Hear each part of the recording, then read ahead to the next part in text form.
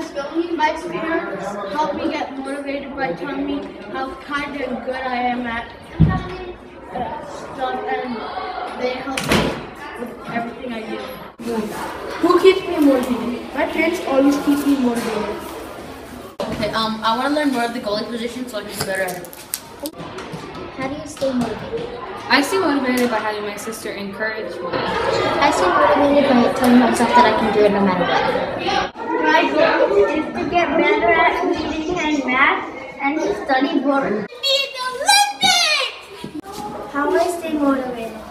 I stay motivated when I get to watch TV and go on my iPad. I have support. I have lots of supportive people around me that help me and encourage me. My networks are my family, friends, and me. My goal is to get a single A time in swimming, and to do that, I will practice as much as I can. The way I stay motivated is I think of achieving my goal, and so it helps me succeed. keep me motivated so I can play in the NHL or. My best friend Matthew, he's there through it all and he supports me through every decision I make. I stay motivated by my family telling me, you can do it. And my goal is to stay positive.